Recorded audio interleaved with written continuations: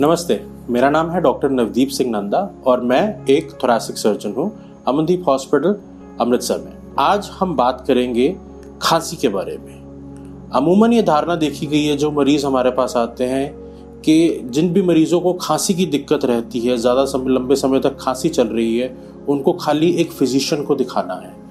ये एक मिथ है कि खांसी खाली फिजिशियन ही देखते हैं। अगर आपको लंबे समय से खांसी चल रही है तो आप एक चेस्ट सर्जन को भी दिखा सकते हैं। हो सकता है उसका कारण कोई ऑपरेशन की समस्या हो, जिसको ऑपरेशन से ही हल किया जा सकता है। आपको इस तरह की कोई भी खांसी जो लंबे समय से चल रही है या खांसी में खून आ रहा है तो कृपया एक चेस्ट सर्जन का ओपिनियन ज़रूर लीजिए। इसी तरह से कुछ और मिथ्स को लेके हम अगले वीडियो में मिलेंगे और आपसे रूबरू होंगे। इसके बारे में कुछ और बातें करेंगे, कुछ और चर्चा करेंगे। तब तक आप अपनी सेहत का ध्यान रखिए। इस वीडियोस को देखते रहने के लिए please like and share and subscribe to this channel thank you